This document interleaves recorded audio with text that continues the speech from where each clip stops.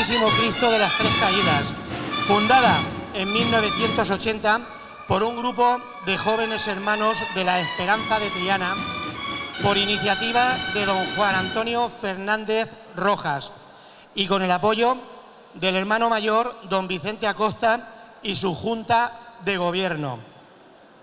Parece que fue ayer cuando un nutrido grupo de jóvenes hermanos eran convocados por su afición a la música cofrade al reto de algún día verse acompañado a su Cristo en la madrugada del Viernes Santo, la madrugada. Ocurría esto en el mes de mayo de 1980, que se vieron realizados sus sueños, sus sueños se hicieron realidad y que todo esto contó con el apoyo de numerosos hermanos. El estilo escogido fue el de agrupación musical referenciada por la extinta banda de la Guardia Civil. Nuestra primera cita, dicen ellos, fue en el antiguo mercado de abastos del Altozano a la una y media de la mañana al oír a nuestro director a formar la banda. El actual uniforme, hoy ya como banda de cornetas y tambores, lo utilizan desde 2004 y se compone de levita que utilizan los mandos de la Armada Española, tan acorde con su hermandad, conservando las gorras de plato blanco. La banda de cornetas y tambores Las Tres Caídas de Triana tiene numerosas composiciones musicales que son oídas en el mundo entero, estando entre las mejores del mundo semanasantero.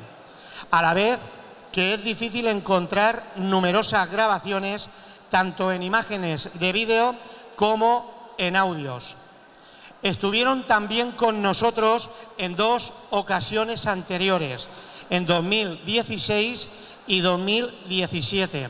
Y hoy volvemos a disfrutar de ellos en esta mañana del segundo domingo de Cuaresma, como ya dije anteriormente, y cuando vamos a una velocidad vertiginosa, este año sí, a vivir la Semana Santa. El concierto de las tres caídas hoy nos trae el alma de Triana, el embrujo de Triana, la fe. En manos de Jesús estaban Mater, caridad, la pasión y hágase tu voluntad. Con todos vosotros que sois más de mil personas quienes estamos aquí, la banda de cornetas y tambores Santísimo Cristo de las tres caídas. Adelante.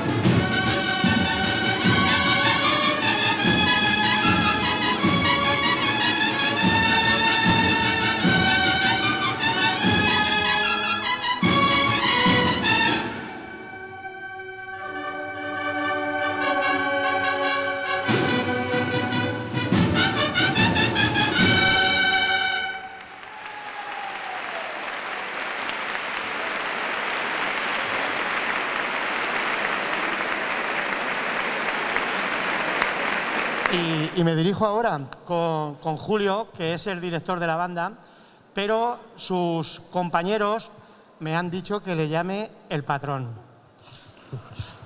Un aplauso para él. Me quiere mucho, me quiere mucho. Ese aplauso, ese aplauso.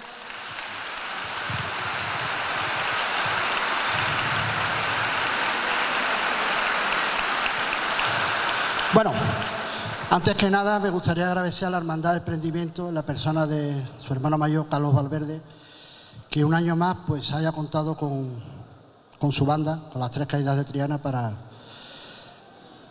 para echar un poquito de bálsamo a esta maldita pandemia. Espero que la próxima vez que estemos en Ellín nos veamos todas las caras y no vea más una mascarilla en mi vida, ni en los hospitales.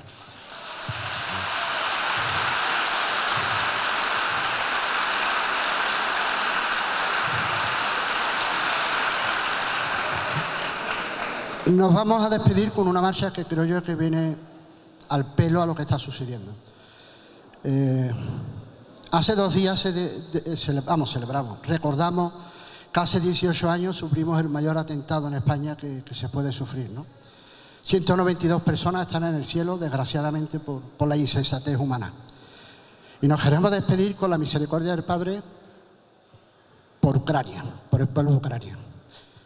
Un abrazo enorme a todos ustedes y la misericordia del Padre para Ucrania. Muchísimas gracias. Me gustaría, me gustaría, Julio, me gustaría hacerle dos preguntas. Una, ¿cuántas personas han venido esta mañana aquí en... Eh, si te refieres a componentes... A, músicos, claro. Músicos. 120 eh, componentes en la tierra y nueve que tenemos ya en el cielo están con nosotros también aquí. ¿Cuántos conciertos?